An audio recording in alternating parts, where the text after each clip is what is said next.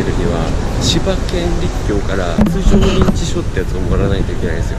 出場認知証みたいな。聞いたことあるかな？その出場認知証ってやつを今から僕もらいに行くんですけど本当は郵送してもらえるんですけれども結構時間かかってしまう。あと1週間ないんでもうちょっと安全を期してできるだけスピード感持ってやりたいなということで直接もらいに行くと。いう形にしております。ミスができないからね。ポール漏れをしてる男なので、まあ、こういうところでしっかりやっていきたいなという思いあるんですけど。大会とかみんなさいつも通りさ出てるじゃない？いろんな大会。これ全部さ先生とかコーチとかマネージャーが全部やってくれてるわけよ。みんなからしたら当たり前でしょみたいないう感じあると思うんだけど一回やってみると事務作業ってめちゃくちゃ大変。俺はね自分のことだから失敗したらやばい失敗しちゃったって言って視聴者から叩かれて終わるだけなんだけどそのマネージャーとか先生たちってみんなのミスしたら何も言えないわけだから多分結構本当に命がけでやってると思ってて大会いつも通り平気で出てるかもしれないけどそのマネージャーとか先生とかにこう大会出るときこの今の現状ちゃんと感謝した方がいいかなって思うよ僕は。俺もね中高の時はね正直分かんなかったよ。大会緊張して自分でいっぱいいっぱいだったけどいつも怒られて嫌だなと思うあの先生もコーチもみんなのその出場のためにいろんな事務作業頑張って出場できるようにやってくれてんのよ。泣けてくるでしょ。ちょっと早速もらいに行きたいと思います。はい。ということで今事務局に行ってまいりました。で見てください。出場認知症を千葉立教の方からいただくと。これがまず1つ目の手順ね。千葉立教の僕が地元の大会に出るための手順要素1まず千葉立教から出場認知症をもらいます。本当は郵送とかをしてもらえる。でもちょっと時間かかるから早めにやるのが大切です。でこっからこれと他にもういろんなその山形県選に出るための次書類を書いたりこれ、入金したりっていう次手順があります。でこれ次送んなきゃいけない。これ山形立教に。出させてくれっていう。本当にもうこれもう一回だけ押してほしいんだけどみんな感謝して先生やコーチに。それが伝わればいいなと思った。出場認知証をゲットするためのワンシーン。ということでよろしくみんな。山形帰るんですけどお母さんとかにも会いたいんで親を安心させるために一応 PCR 検査を受けて帰りたいと思います。僕が山形に帰ってる途中に結果が分かるっぽいんであのもし陽性だったらあの僕はそのまま帰らなければいけないっていうトンボ帰りをしなきゃいけないっていう現実が待ってるんですけど多分大丈夫だと思います。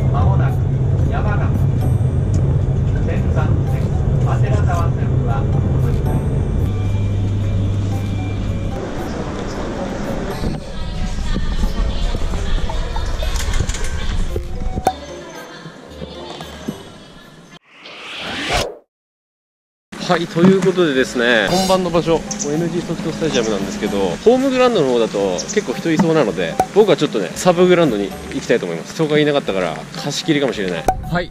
ほぼ貸し切りですね。山形来て今日明日はしっかり動いてで試合前日しっかり休んで本番当日迎えるという流れにしていきたいと思います。今日はブロック蹴るとこまでやりたいと思います。やっていきましょう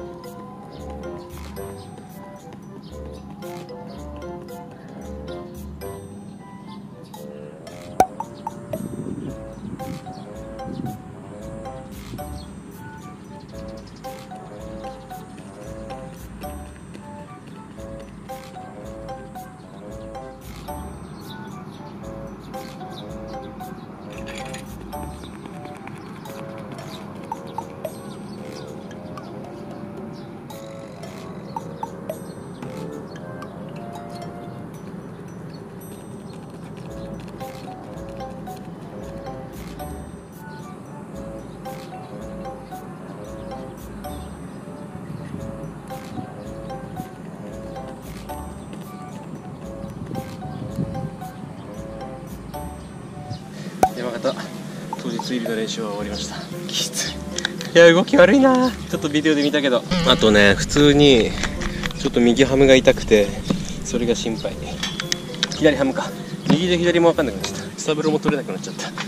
どうなることやら。ちょっとハム痛いからケアしたいなしっかり。この2日間でしっかりケアしてもう1回どこまでできるかそれにかかってます腰下がってめっちゃリーチアウトしてる感じあってなんかそりゃハム痛くなるよねみたいな走り方自分でしてるんでもっと腰乗せて真下の意識しっかりしていきたいと思います。このハムの痛みもちょっと抜ければもっと踏む感覚とかも出てくると思うんでそしたらまたちょっと良くなるのかなと思います。いやでもこんな貸し切り状態で練習できるの最高だな。しっかり調整して最低でも絶対社会人ベストはまあ条件次第だけどね。社会人ベストが出るようなパフォーマンス性を出してきてですね。ちゃんと。今日はね感覚悪い。すげえ東京でずっと良かったんだけど。緊張してんのかな。あとは母が作ってくれた美味しいご飯でも今から食べたいと思います。はいということでデイ2ですね。山形デイ2になります。ちょっと暗くて分かりづらい NG ソフトスタジアムの本メイン競技場の雨天走路の中にいます。驚愕しました。ブルータータンになってる。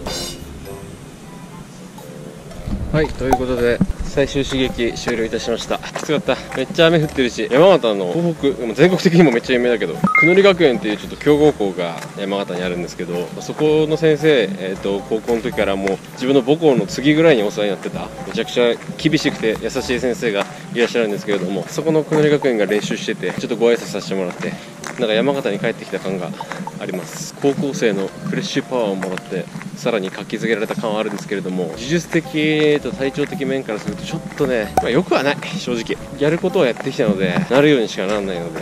で当日も雨っぽいですし、まあ、条件はそこまでいいとは言えないと思うんで、まあ、ただただ自分のできることをどれだけ発揮できるかっていうところになってくると思うんで、それでやっていきたいと思います。練習お疲れ様でした。ダッシュで行こうぜ。はいということで実家です。一個だけみんなで見仕上げてもいいかなって感じですね。全中の記録賞みたいな。プラス1.2で11秒39前の僕のに1体ぐらいですね。中3の僕と今同じぐらい。明日試合ですね。絶対フライングしないでちゃんと思いっきりスタート出てしっかり走り切りたいと思います。6レーンっていうすごいいいレーンもらっちゃったんですよね。ちなみにこれ見て。明日はアクセルユニフォーム。64番ですね。こちらのホワイトテープを上から貼ることによって何回でも使えるっていうゼッケンになってます。ちなみに前のゼッケンこれちょっと後ろ見ると山崎130って書いてあるゼッケンなんですけどこれ2016年にジュリアンがオリンピックを決めた日本選手権の優勝した時のゼッケンを今このように使わせてもらってます。こっち来る時に明日雨なのにてか雨予報だったのに俺 T ズしか持ってきてなくて上着持ってくるの忘れたと思って買ってきました。かっこいいっしょ。でまた明日多分オープニングとかで来てるんであのみんなに見てもらえるかなと思うんですけどオークリーのちょっと今見づらいからね申し訳ないんだけどオークリーのねジャケットっていうんです薄めのシャカシャカタイプの買っちゃいました。これ明日ちゃんと着ていきたいと思います。明日の朝迎えてしっかり行きたいと思います。6時半に起きてお母さんの美味しいご飯を食べてパワーをもらっていきたいと思います。おやすみ。最後までご視聴ありがとうございました。それでは皆さんまたのご機会に。さようなら